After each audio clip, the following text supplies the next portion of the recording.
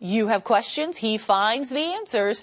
Edgar B. Herwick III is the guy behind GBH's Curiosity Desk. He joins me now to dig into his mailbag and tackle a few listener questions that have recently come his way. Hi. Digital mailbag, of Digital. course. Although I would absolutely love to get some snail mail. Could you imagine? One Guest Street, that's the address here. So send them away. Write it up, type it up. I'll take it. Okay.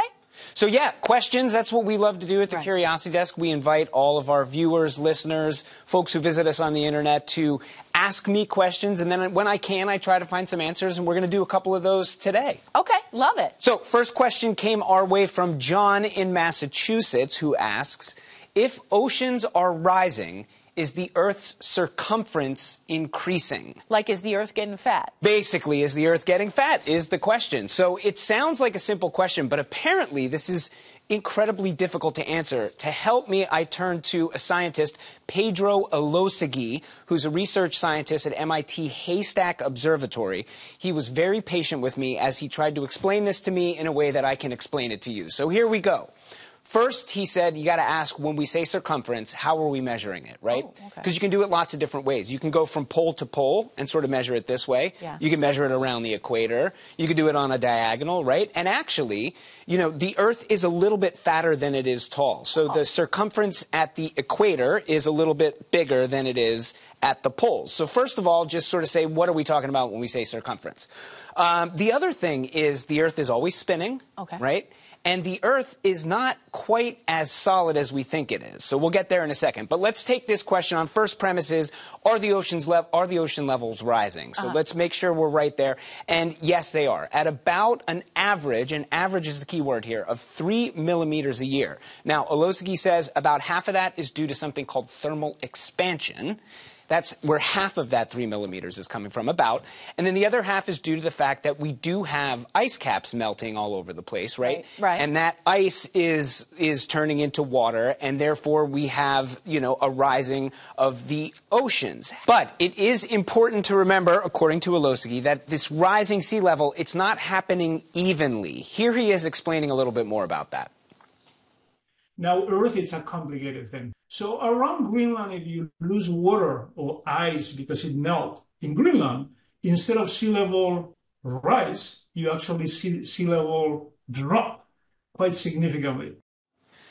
So it's patchy. So this rise of sea level is an average. In some places it's dropping, in some places it's rising. Now add to this, as I was saying, the Earth is spinning, and also I was saying it's not solid, right? So Elosegui, and I think this is so cool, he says, think of it like the surface of the Earth is like a tennis ball, and things happen to it, and it's sort of like compressing and coming back in very, sometimes hourly, daily, whatever. But lower, deeper in the earth, there's stuff that's happening. He said, think of it more like putty or honey. You can press your thumb into it, and slowly, sometimes over thousands or tens of thousands of years, it's springing back, right?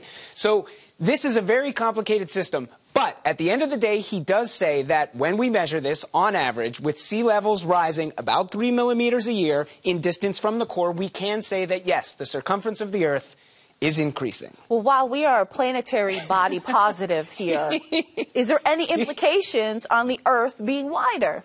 You could say that there are, but only because we have such incredibly sensitive, like, like sensitive ways of measuring this. Here's Elosegui again.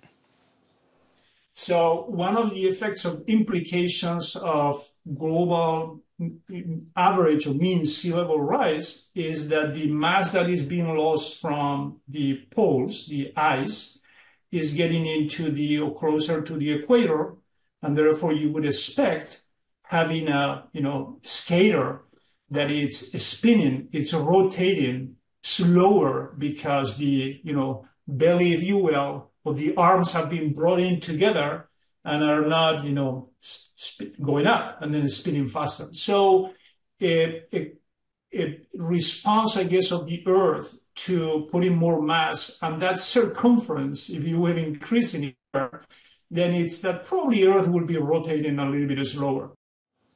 Pretty cool. Yeah, but by, by like microseconds. Okay. Very, very, very, very little bit slower. And in fact, uh, the Earth has been slowing down for a long time, largely because of its interaction with the moon. So that probably has more impact than the actual circumference changing. Okay, so let's go to the next question. Next question comes to us from Arlington, I believe. Regine in Arlington.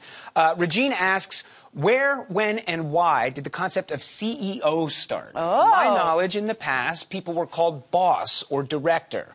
What happened? So uh, the question is basically let's let's trace the rise of the term CEO and. Regina is right. This is a relatively recent term, at least in popular culture. I spoke with Peter Sokolowski. He's editor at large at Merriam-Webster, which is based right here in Springfield, in our state of Massachusetts.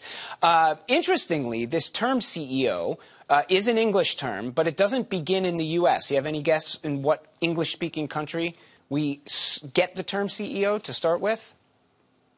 Uh, Germany. Uh, English speaking country. English, okay. Although they do speak English quite well in Germany. Yeah. Um, I don't know. United States? Let's have Sokolowski answer it. Yeah. More than 100 years ago, the Oxford English Dictionary records use, uh, interestingly, in Australia only, uh, beginning in 1914. And clearly, in mid century, uh, this was a term used in Australian business contexts, um, but did not spread to the United States until much, much later. And much, much later is about the 1970s. That's when we first start seeing the term CEO used in the U.S. And uh, there are some folks who say that this has to do with this book that came out in 1967 called The Effective Executive by a guy named Peter Drucker. And apparently this was a very influential book, and he uses the term CEO as Chief Executive Officer in this, and that's kind of one of the things that sparks the rise of this. Now, Sokolowski says we have clues about like how quickly it becomes becomes widespread. He says in the 1970s, if we look back at the New York Times, every time they use it, they actually spell out chief executive officer. And that's an indication that we don't quite all know what that term means yet if we say CEO, right? But as we get into the 80s, they start to just use CEO. So they stop saying chief executive officer and say CEO. That's a clue that by the 1980s, this term is widespread and everybody kind of knows what it means. Merriam Webster first added it to their dictionary in 1983. And of course, it's birthed a whole sort of slew of other terms, COO, CIO, you know, the C suite. Um, you know, one reason that Sokolowski says this became so popular so quickly, like any term, he says it was useful to us in the time. And so, you know, the fact that um, CEO is short and it's punchy is one reason that he thinks it really rises in popularity. Yeah. Here's another reason he says. That corresponds with a couple of different things in the culture. One, a sensitivity to gender and recognizing that chairman of the board uh, wasn't always appropriate, and chairperson just doesn't kind of roll off your tongue.